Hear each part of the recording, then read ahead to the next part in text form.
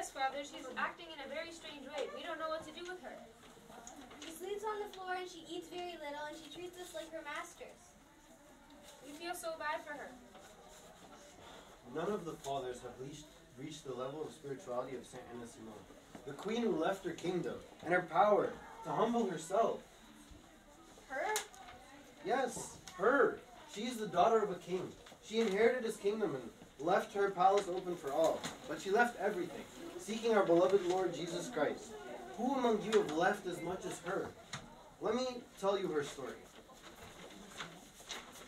Darius the dad was a righteous king He wanted to raise his daughter Anna properly within Christianity. He resolved to get her a priest to teach her how to grow up in the ways of God.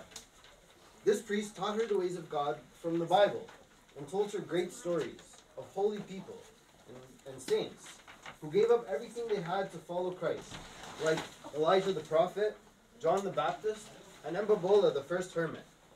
As she grew older and older, Hannah, Anna would read the Bible and stories of the hermit in all her free time. Oh God, please God, let me go to the convent with you. Please God, soften my dad's heart. You know the secrets of my heart. You know how much I want to be with you. Please, make it easy for me to do your will. Please God, please. Know that I want to be with you. Name? Oh, hey Bobby, perfect timing.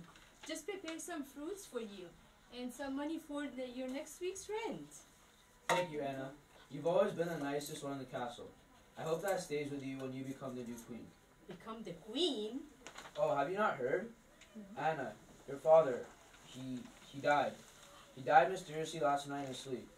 The army is considering you replacing him. Anna was now forced to be crowned. She was very sad, and every single one in her kingdom loved her in all the years that she reigned. She was a righteous queen, and she had God in her heart. She gave the needy, like Bobby, and judged fairly for everyone. But she wasn't very happy with all of this, because what she really wanted was to live for God. God has been so merciful to me. So what reasons for me to live, to continue living in this world with its pleasures and vainglories?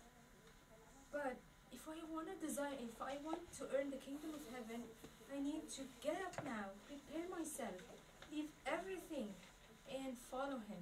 He told me, if whoever wants to follow me and doesn't carry his cross is not worthy of me.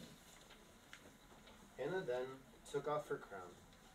She put it gently on the throne. She removed her cape. She removed her fancy shoes.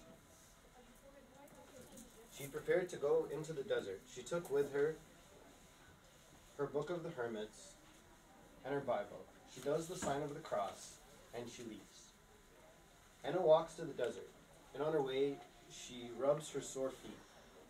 She rubs her tummy and she plucks grass just so that she can eat. After a year in the wilderness, Anasimon felt that the beasts and the wild animals were serving her and that she was eating so luxuriously. So she decided to come here, to your convent, and she chose to live that very simple and humble life. She didn't want to get any praises from people, and she wanted to serve God in peace and humility. You see now, Anna has really reached a level of spirituality that none of the fathers have reached. We are so sorry. We didn't know. You truly are holy. Thank you.